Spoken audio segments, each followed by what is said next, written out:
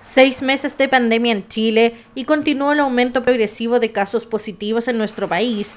En Linares se decretó cuarentena por esta razón. Desde el hospital base de la comuna realizaron un balance respecto a su capacidad durante este periodo.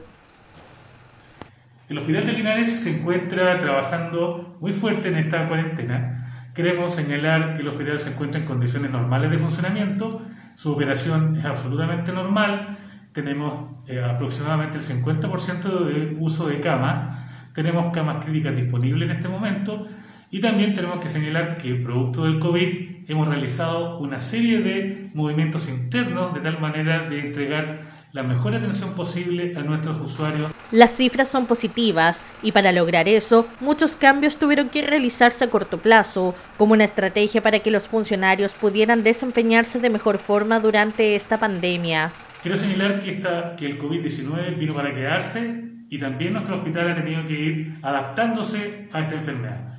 Es por eso que hemos separado áreas, hemos, hemos cerrado salas, hemos abierto otras, hemos cambiado pacientes de un lado hacia otro, siempre con las medidas y los protocolos respectivos. Este balance se realizó con el objetivo de entregar calma a los vecinos, quienes necesitan acudir en alguna oportunidad a este recinto de salud llamar a la población que tenga calma, que su hospital está trabajando en las mejores condiciones posibles. Hemos hecho una serie de inversiones y arreglos para que pueda entregar las mejores condiciones de atención. Es así como terminamos recién este fin de semana nuestro proyecto de mejoramiento del servicio de urgencia, donde por fin podemos terminar con un área sensible que es la calefacción.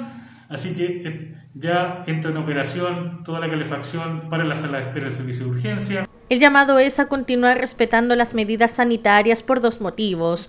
El primero para no colapsar el servicio de salud de la comuna y para evitar que la cuarentena se extienda.